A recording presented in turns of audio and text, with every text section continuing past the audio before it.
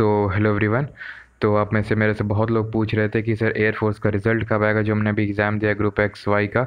तो उसका रिज़ल्ट कब आएगा और आप तो बता ही नहीं रिज़ल्ट रिज़ल्ट के बारे में तो आप बता ही नहीं रहे हैं।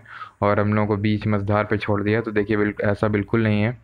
अभी मैंने कुछ दिनों से इसके रिगार्डिंग वीडियोस नहीं डाला था, मैंने फिर से जो नई क्लासेज हैं एयरफोर्स की वो चालू कर दी थी, ताकि लोगों को ये ना लगे कि अब आगे मैं नहीं पढ़ाऊँगा, क्योंकि बहुत लोग बोल रहे थे कि सर उसका कोर्स बनाइए, जो फिर से, क्योंकि मैंने पूछा था कि किस आपको टॉपिक पे कोर्स चाहिए तो आप में से बहुत लोगों ने बोला था कि एयरफोर्स एस एस सी तो इसी के रिगार्डिंग मैंने कोर्स चालू कर दिया है।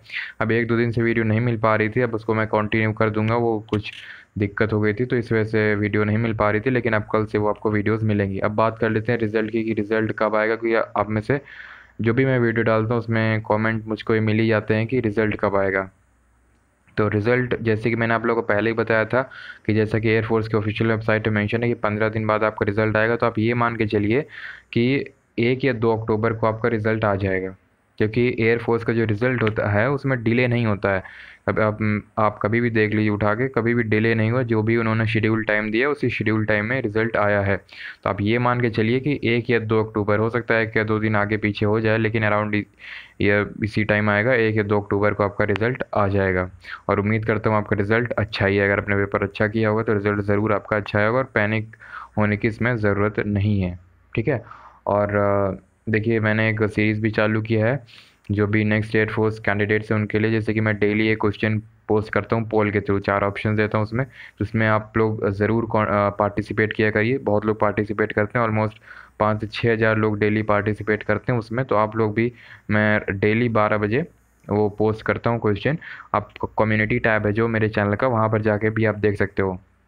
तो वहाँ पे जो मैं डेली एक क्वेश्चन करंट अफेयर का जो कि बहुत ज़्यादा इंपॉर्टेंट होता है आपके एग्ज़ाम के लिए, वो मैं डालता हूँ। तो आप ये मान के चलिए कि अगर आप एग्ज़ाम समझ लीजिए कि चार महीने बाद भी अगर आपका एग्ज़ाम है तो आपके एक सौ बीस एम सी क्यूज़ ऐसे ही डेली एक एक करके तैयार हो जाएँगे और बहुत इंटरेस्टिंग वे में। और उनसे ये तो मान के चलिए ये मैं खुद गारंटी देता हूँ कि एक सौ बीस जो भी आप डेली एक एक करोगे, उसमें से करंट अफेयर में अगर आपके चार क्वेश्चन आते हैं तो दो तो उससे पक्का फंस ही जाएँगे। क्योंकि मैं डेली बेसिस पे करता हूँ। एकदम से करते हैं आप तो वो आपको याद नहीं होता। आप डेली बेसिस पे करेंगे तो आपको आराम से वो चीज़ ग्रैब हो जाएगी।